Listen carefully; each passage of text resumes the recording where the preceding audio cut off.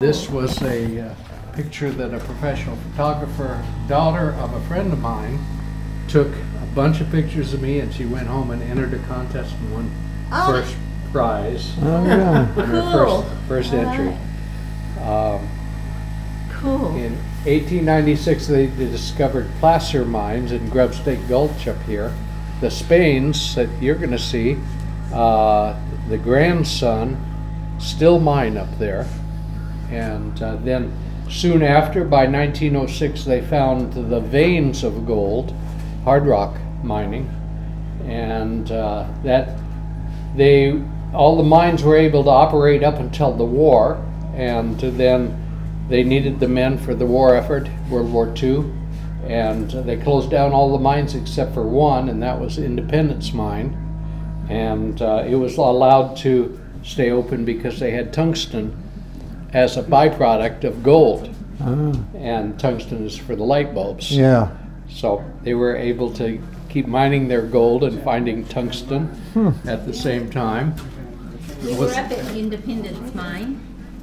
That's a great place to visit. Yep, we stayed Yeah. at Palmer for a week and we were up in Hatcher's Pass and Independence Mine. Yeah, it's a lot more spectacular in fall colors. It's kind I of dull, bet. dull colors right now. Yeah. Yeah. But uh, we're putting identification of, of uh, who donated all these things. Victrola from, it's still working condition. Oh, We play wow. it from time to time.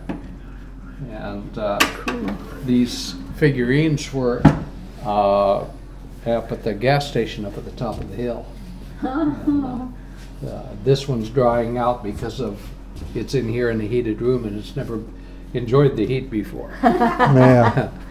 Cool. Uh, There's, uh, we have a lot more pictures and we have all the written history of the mining up there. And it wasn't all tunnels.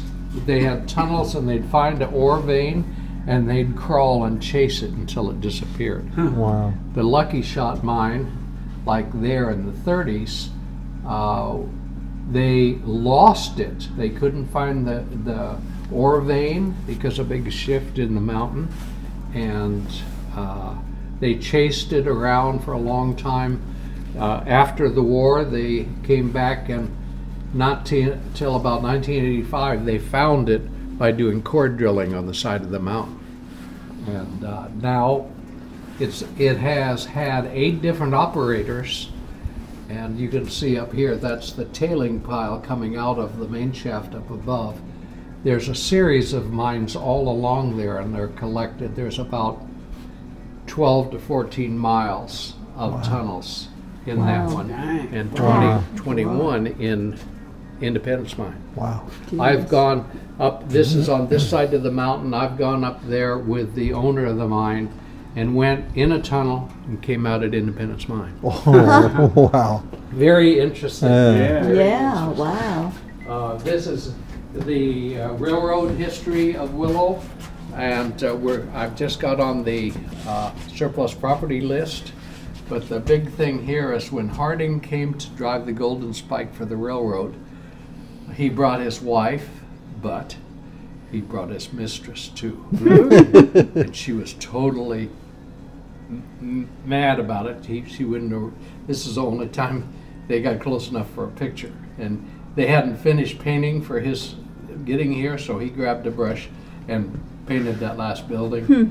And this is him driving the, the train from Wasilla up to here with a security card. And the story that wasn't publicized and kept quiet was he drove the spike in Nenana in about 1923 and then went to Fairbanks, went back to Seward on the train, and went to San Francisco on a steamship where he died from food poisoning. Ah, And imagine that. yeah, imagine that. and uh, a gal that my brother is dating, her, his wife passed away three, four years ago, but she is a tour guide on the railroad, and she was telling a group of people on the train that were touring about the situation dying from food poisoning, and led on that the the wife did it, and then when she got done, a guy came up and says, "Hello, I'm Dan Harding. I'm great grandson of President. Oh, Harding." no. She went into this big, uh, "Oh, I'm sorry. I didn't mean to offend you." Says- He says, "No, it's all right. We all know who did it." yeah. Well, that's uh, that's the rest of the story, ain't it? Yeah. Yeah. And then we're moved into the uh, school in Willow, opened in 1959 with one Quonset brought out from the military base. My ex-wife is right there. My past basketball coach was there. That was the center on our basketball team. The boys, two boys were released because they didn't have room for them. They were eight grades in the school, and they sent them to Wasilla, and that's that's how he was on our. I, I graduated from Wasilla, and then uh, the next year they had four Quonset huts. At this time, the population of Willow was just blowing up because all these homesteaders were moving in. Statehood happened, 1959, and uh, they all had big families and they were all poor. So the mines worked out good because they were all abandoned and the homesteaders went up there for repurposing. Ah, That was their lumber yard. yeah. They Oh, tore down yeah. buildings and, and built their homes with them. Huh. And there's still a lot of homes here in Willow. Now, this, this guy right here, I have pictures in my phone. Last week, I was in here working like I usually am, and uh, he introduced himself when he came in, he and his wife. He was up here to, to trace his roots. And because they homesteaded right down the road uh, where, uh, close to Houston, before you get to Houston. And the wife hated it. and, and for good reason. There was no amenities, there wasn't running water, they had the outhouses, and it was rough. It was so rough that another couple, uh, prominent name in Willow then, they worked through it and they got their land and and she all the time says I'm leaving you or where I'm going back to see to live with, near my parents and family. They proved up on the homestead, stead 160 acres. They traded the homes, homestead for a used pickup truck and left. Oh, my gosh. Yeah. And this is me restoring Willow's first school bus. And this is what the roads were like to get that to that Quonset hut. Wow. They'd have uh, a designated student, the old, oldest one, would drive the bus as it was pulled through the mud. They had kept a dozer so that they could uh, get to school. Now, is that bus around here somewhere? It's on my property back home. It looks still just about like that. Uh, rebu- rebuilt the engine. My brother reworked the fenders there. There were pieces missing out of them. He did a good job. We reupholstered. We replaced glass. I replaced floor in it. And uh, that was 1959. And it was a used bus from uh, Eagle River, Chugach area. Huh. Now, next week, uh, Friday, there'll be, uh, the teachers from the elementary school are coming here for a luncheon that we're putting on to uh, give them free lunch and a tour of the facility because they'll be bringing their uh, students over. And we worked up a 25 uh, numbered list of questions, like a treasure hunt, but it's an information hunt, that they'll have the questions and they go around And and get the find the answers. Oh, And that's then they'll, neat. they'll teach about it back at the school. Good. Wow. That is Yeah, you gotta get 'em- Awesome. Yeah. Interested in it. Pass that That history doesn't look like that anymore, but I have that on my property. It's deteriorated real bad. There's nothing other than the engine, the hydraulics, and there- there was several thousand dollars worth of hydraulic system. It was uh, a tour boat on Nancy Lake for a short while, but was shut down because you had to have a captain's license Uh, Oh, to run it. to run passengers. And Yeah. uh, these are some of the people that lived on Nan's books here, uh, where he translated native to English, that he had people. The, I got my trap line from Shem Pete, was in Nancy Lake Recreation Area, but he was there from, he, he lived in Willow for 72 years. Wow.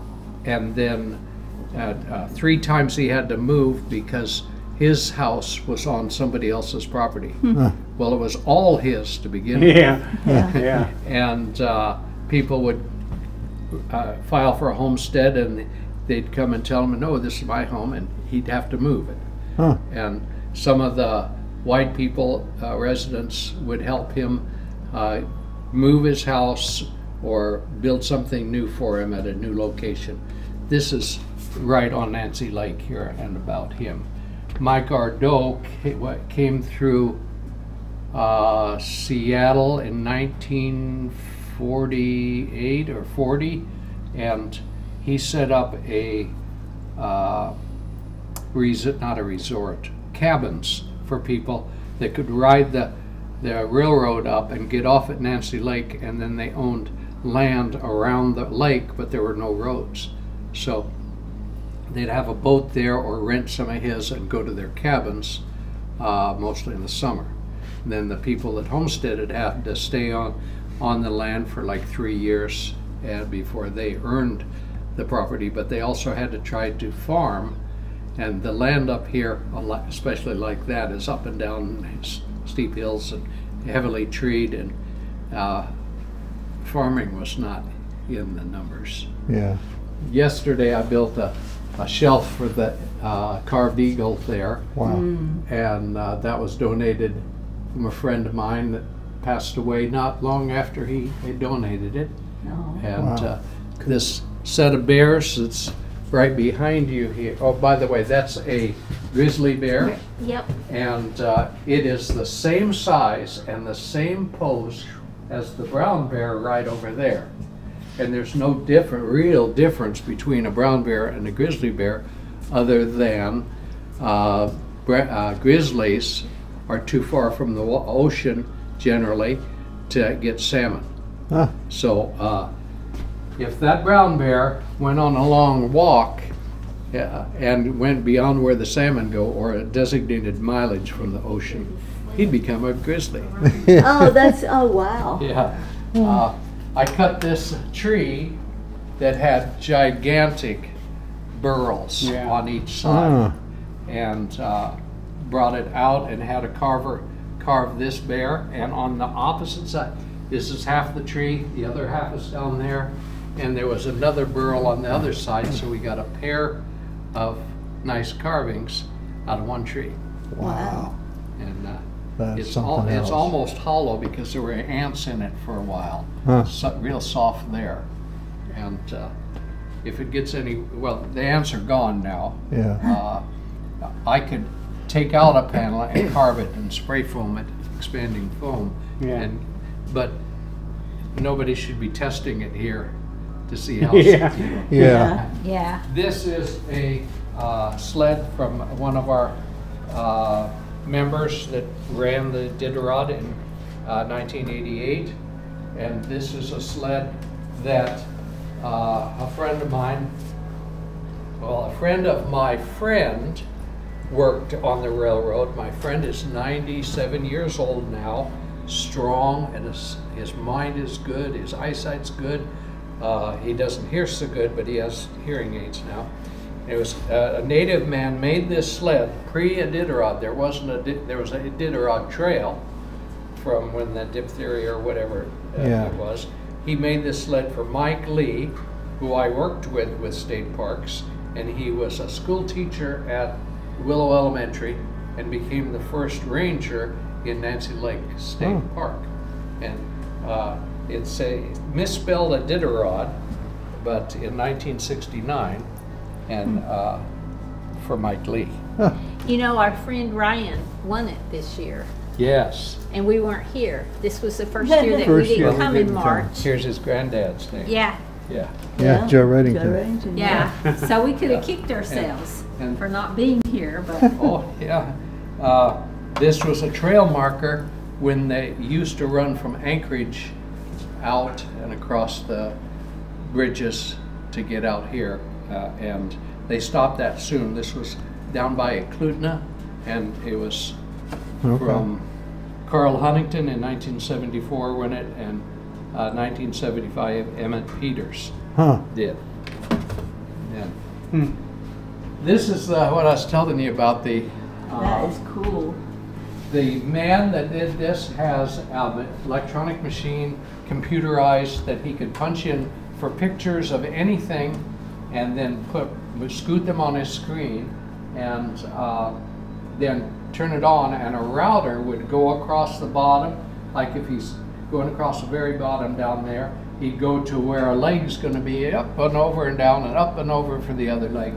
That it's three inch foam and he did all of that uh, it only moved about this fast, like that, and would go eight feet and come back one eighth of an inch over. Then when he did the whole thing like that, he would put on a smaller router bit and go over it again, one eighth of an inch at a time. Oh, wow. And then he painted it after. And uh, this moose, I've donated a lot of things in here because I've been collecting and interested in history for a long time. This moose I shot while I was sitting in a lawn chair at uh, just on our porch across our lake and, and dropped that one. uh, pretty long shot. Uh, and there's been others a lot closer than that that were About how, easier. about, about how much did that one weigh? Do you know? Uh, Oh, I would imagine 1,400 pounds or so. wow. Uh, the elk I got from Afognak Island. And this is interesting about the muskox. Hunted to extinction by 1930, 34 transplants from Greenland repopulated Alaska with over 4,000 of the shaggy beasts living here today. That's pretty good That's- reproduction Yeah. there. Yeah. And now they're a big problem in Nome and other places because they herd up. And I have pictures of uh, uh, a muskox in the middle of a dog team stomping them. Oh man. Yeah. We went to the muskox farm Down in Palmer. down in Mhm. Palmer. Yeah. You dressed warm? Two weeks of beautiful weather. We have not had a single drop of rain. Not anywhere. We were in Homer, Seward, no rain, sunny skies. It's been gorgeous. Until this morning, it ain't. Until this morning, when we had Nice. frozen eggs and they, Yeah. It's, yeah. um, yeah, it's a, it's a great time to, of year to come, but not very beautiful. You have to put up with a lot of hunters uh, in the fall when it's all golden and everything. These are mushers in willow that have run the Iditarod. We will have that full when we do go there, and I'll have to add another board. I just re-added another board because we're getting the pictures now of everyone. Uh, three people recently, this gal and those two, came and uh, I got their pictures in here. Hmm. Uh, the DD John Rose right there. Yeah. These these five people are on the Mushers Hall of Fame here, uh, and next year this man will probably be voted by our, our organization. The Iditarod restart starts just outside the windows right there, right over there. Yeah. Yep. Yeah, We've uh, we've been to that twice now, three times. three times. Uh-huh. Yeah, and walked across walked across the lake one time in a blizzard. That was Last time we 2021, over or- here and um, we drove over there and parked and saw them as they came through. That's- Yeah. That's easier. yeah. Yeah. Easier than walking across the lake. There's Robert Redington. Huh? Yeah. Yeah. Robert. I was happy for him that he could win. There's Norman Vaughn over there. Yeah. He's a famous musher too. Uh, this is the guy that ran the race in uh, 1988. He's in a wheelchair now Hmm. and re- refuses to stop pushing on. Hmm. Dick Mackey. Uh, This was one big room after they refurbished it. It was empty of anything in here. There used to be a stage right here. We were gonna put our game animals on that. And these windows, this, this is a, goes right here. This is our Uh-huh. door that we only take out. I did some painting in there, uh, this morning. But uh, they added two bathrooms and mechanical room on the only wall that had, didn't have windows on it, Hmm. where we needed to put all the game mounts because they bleach in the sun. Yeah. So uh, I built all the uh, carpentry in here. I did myself in the last year and a half. I almost lived here. My wife was was threatening to let me live here. and, and these posts, uh, I made a screw jack out of the top, and there's a drilled hole in the log that the bolt can goes through with a washer on it, uh, and then a nut. And as you tighten the nut down, that pushes the bolt up, and uh, wherever there's a piece of two by four, that's because it's in between uh, the bottom quarter of the rafters, and uh, we needed to have that wall there. I couldn't get over to another place where there, there, I had to be between the windows. And I, I finished this yesterday, putting the wood in there. These are just shower doors Hmm. here, and the hinge is still on it.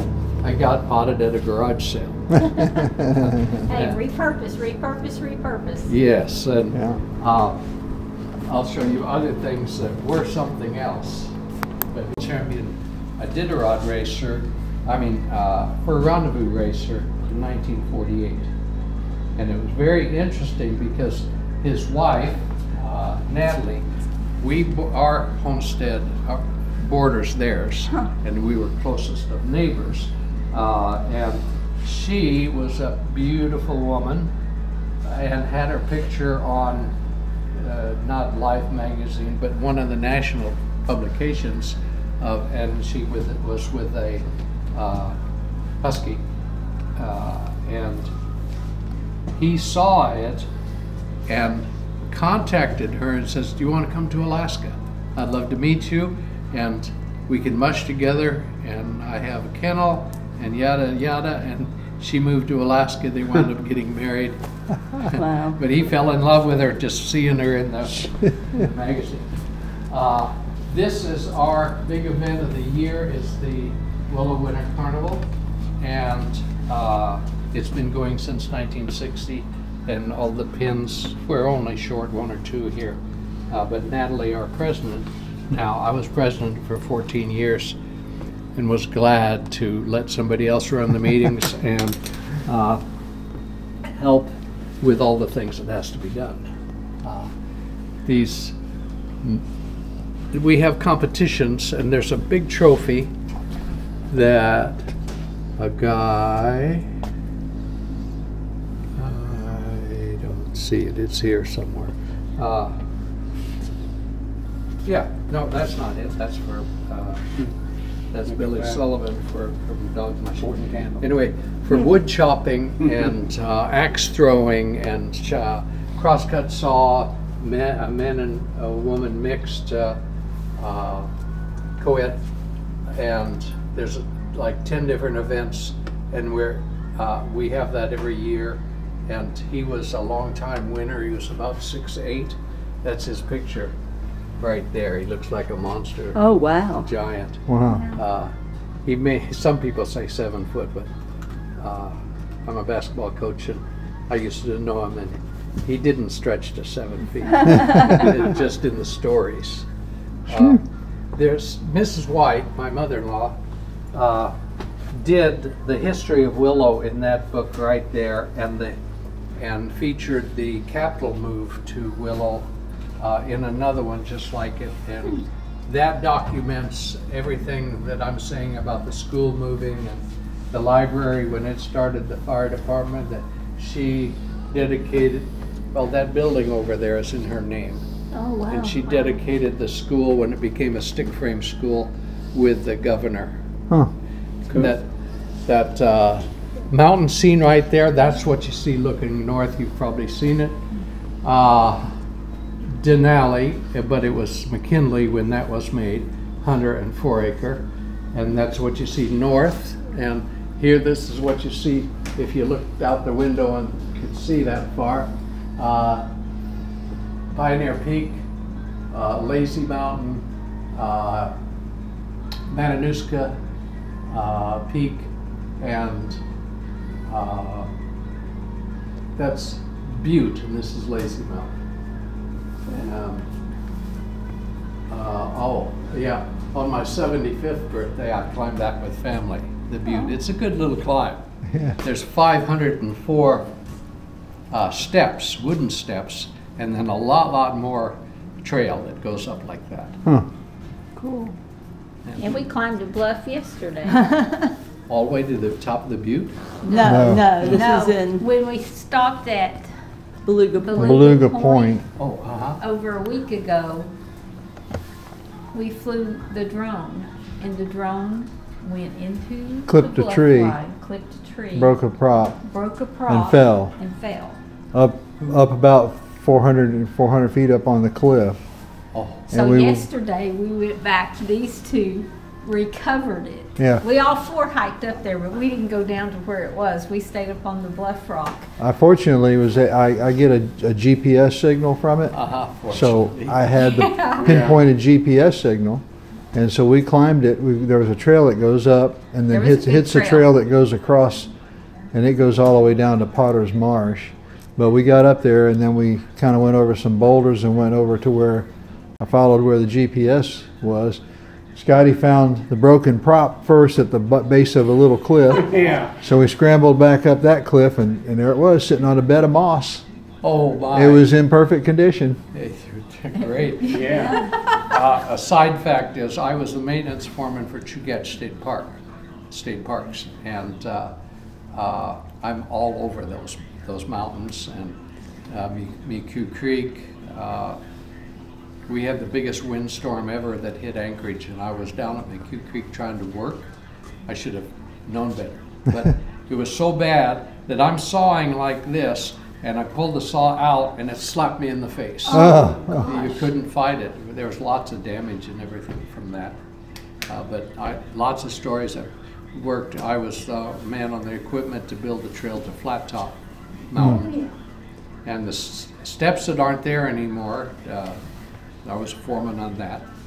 The Potter's Marsh, uh, the, uh, the painted, the train that's down there, we painted. Uh, That's pretty interesting there. Come on, Wade, where it came from. Everything in this cabinet I donated. Uh, The mining hat with the carbide lamp was a hard one to get. And uh, if you see this miner right here, look what's in the background. There. Yeah. It's a good picture and it was pretty good carry. I carried the bear across the creek and put it over there for the picture. I have another one at home that I set up and used a standing bear that I didn't donate it. It's still in, in the house. Uh, the bear's in a position like this, and I leaned it up against a tree and previously put Kathy uh, a ladder up, and she got on this branch up above the bear. And she's yelling with a berry bucket hanging from her neck, and, and she like, looks all "Yeah." scared. Yeah. and cool. That was the centerpiece for uh, our uh, community calendar. Evinrude is uh, from 1933, and it cost $17 when it was new. Oh, wow. Yeah, Yeah, And I've not seen one out of. this here Yeah. is Drill press. tur- turn of the century drill press, and you flip a switch, it'll go down at a very slow rate in proportion to what you crank, like that. Oh, cool. And uh, I haven't been promised, but I've been teased by uh, a crank drill press that bolts to track, and they have to drill the railroad rail Oh, to bolt them together them to together. keep going. And uh, the railroad guy that I was working with, uh, he has one that is a hand crank that they strap onto the rail. Wow. And uh, there's other things I'm hoping to get from Yeah. that. Yeah. Uh, This, Ray and Rosalie White's uh, homestead. And uh, the property I'm on is their old homestead. And they had this, not this picture part, but it had uh, to supply water in their house. And I own a gravel pit. And now there's a lake right beside the homestead house. The water table's close. If you go down about 10 feet, you hit the water table. I had a contract with them to build the lake and dig a minimum of eight feet into water tables so it'd be a lake. And uh, th- they had this, or a pump like this there, and it was, they only lift up to 15 feet. So they got into that table, and uh, that lake is just like a well. Huh. But a well is completely covered with gravel, and you drill down into it. How do you di- how think how deep do you think this well is here? About 15 or so? Or? No, it's uh, 16 inches. Because it's I was fixing to say that. Okay. And- Surely you didn't dig a well here, but no, well, it would have been a bad well too because after you pump it into there, it flows back into the well. Recycle. So, yeah, septic system and pump Yeah. system. yeah, I've got a couple of them there. Uh, courting candles, they call them. Oh, really? Yeah, I don't know if that's what you you know what. Do you know anything about that candle? No. Well, what it is. I've got another story for your museum now. Okay, Yeah, I'm uh, ready. uh, when I bought the first one, I've got like three of them. They said if the, the family that had a daughter, when the boy come over to date him, the mom and dad would light that candle, and they would set it to a certain. When it burnt down to a certain point, it was time for him to leave. Oh, oh, oh. I'm going to use that. Yeah, I'm that's true. that. Yeah, it's called a courting candle, and, Yeah. and you can adjust it, you know, and you don't like the boy, Uh-huh. it's a and then if she ends up pregnant, uh, they forgot to set it evidently. Oh, yeah. or light it. Uh huh. Uh, yeah. courting Imagine candle. cooking your dinner or baking bread or Oh, in that Wow. stove right there. What's the that? little box on the left is the fire box. And There's a steel wall in between the two, and Mrs. White used to cook uh, dinners on that. Wow. And that pot on top is a uh, nickel. It, it's made out of nickel Yeah, I see- metal. still see some of them around in Tennessee. Uh-huh. Uh, you have a lot longer history down there than we have. Yeah, there's, yeah, there's Appalachians. Yeah. Yeah, Yeah. When there were uh, 11 states when Alaska was bought from the Russians. So their flag at 11. That's a 49 star flag that is very, very rare. Uh, some of the big uh, museums don't, here in Alaska, don't even have a 49 star. Wow. I, I searched for 40 years before I got that one in that good a shape. Wow. And then I got into a collection of antique people and collectors. Now I have five. Ah, I'm monopolizing them. good. That's good. This was just brought in the other day. I have to take the tape off of this. It was put on to keep the glass from breaking and just made a big mess. Yeah, Uh, We'll put more interesting things things in in there. there. That is so cool. Hmm. Uh, Very cool. You've worked hard on this. No wonder you retired. Yeah, well, it's more work being retired. I know, I know, This is the knot, that's the, Okay, the yeah. burl on the tree Wow. that I cut down. Yeah, you don't see too many Yeah. like that. Oh, Wow. that's, that's huge. Yeah, that's the biggest, nicely shaped. I've seen one that was bigger that was just ugly because it was all twisted and everything. But we brought it out with a wrecker. Yeah, and I seen one when we was down in Whittier the other day when we was, uh, I seen one on a tree down there and it was kind of low, but I, I, I meant to say something about it there. It's something you don't usually see around home, that big. Yeah. It was yeah. big. That's, yeah, that's huge. And then this is the guy that carved them. Uh, I got a little grant for, a f- you know, like fixing up the school bus and, and making the signs entering Willow. Uh, Cool. Huh. And my buddy that was then about 85 or so, uh, he and I did all the work to get that, that stuff done. And we have other pictures, that's from when the uh, community uh, building, the new one was built. My father-in-law is dedicated, and, oh, and there's a picture, can't see that. That's maybe somebody else. This one's Dave. The geologist, geologist. That, those are good ore samples. And I saw that Northern Lights rock. Yes. That's pretty cool. that is, and it's a, it's an ore-bearing rock also. It looks just like a rusty rock. Yeah.